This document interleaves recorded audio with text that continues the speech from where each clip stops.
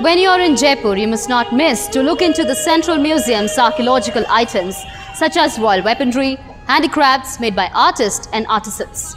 In the 19th century, it was founded by none other than Prince Albert of Britain. And so it is known as the Albert Hall Museum. Have a look at this graceful building.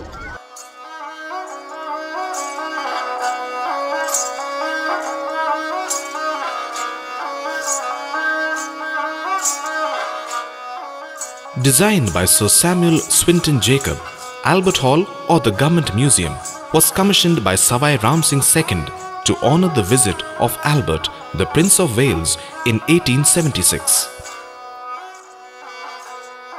This grand multi-layered building, which is a museum with its domes, parapets and balustrades, is located in the centre of Ram Niwas Garden.